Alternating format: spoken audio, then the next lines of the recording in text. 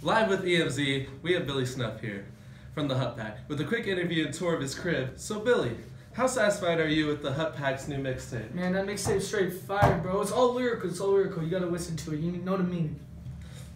How much time did you spend working on this tape? Man, uh, I've been working on it since summer 16, since I dropped that first tape. I feel, I feel. Whoa, so this tape has been in the works for almost two years now? Yes, sir. That's what it means. It's a lot of commitment.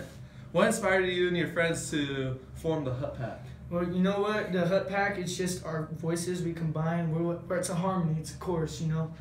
I feel, I feel. All right, well, enough with this interview. Let's go to the crib. Let's Check go!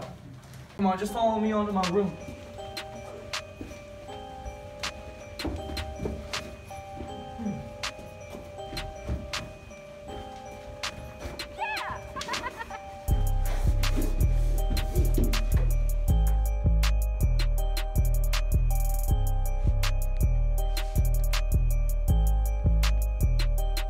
Yo, yo, yo, welcome to my crib. Let me show you how I live, boss.